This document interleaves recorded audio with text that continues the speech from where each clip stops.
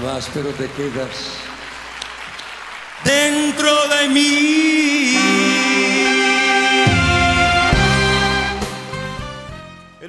Música hispanoparlante ha perdido uno de sus grandes representantes. Camilo VI deja el predio terrenal a la edad de 72 años, luego de sufrir quebrantos de salud que lo mantenían fuera de los escenarios en los últimos meses. Creo que como él no va a haber otro. Camilo Blens Cortés nació en Alicante en 1946 Comenzó a interesarse por la música a los 16 años. Inició con un grupo llamado Los Dyson. Luego pasa al grupo de Los Botines, donde participan en la película El flautista de Amelín.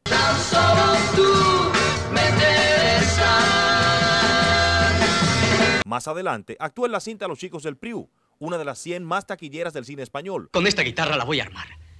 Tocaré en todas partes y grabaré discos que se venderán por millones. Tras lograr trascendencia a nivel mundial, su vida era una especie de enigma. Adoptó su nombre artístico ya que era el sexo de seis hermanos. Sus adicciones y la resistencia a aceptar el paso del tiempo mediante intervenciones quirúrgicas con fines estéticos le granjearon el mote del Michael Jackson latino. Y a pesar de ello, dije, yo lo hago. Siempre fue esquivo y muy pocas cosas se sabían oficialmente.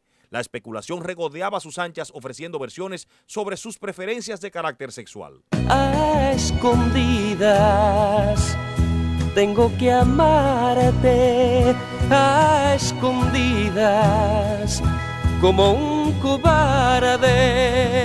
Logró gran pegada y empatía en Latinoamérica. República Dominicana no fue la excepción, pues impulsó la carrera de Ángela Carrasco.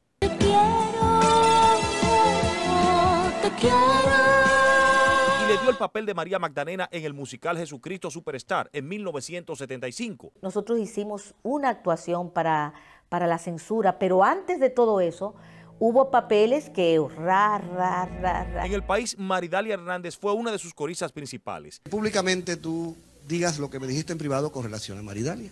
Es una gran artista y sobre todo como mujer tiene una gran calidad humana.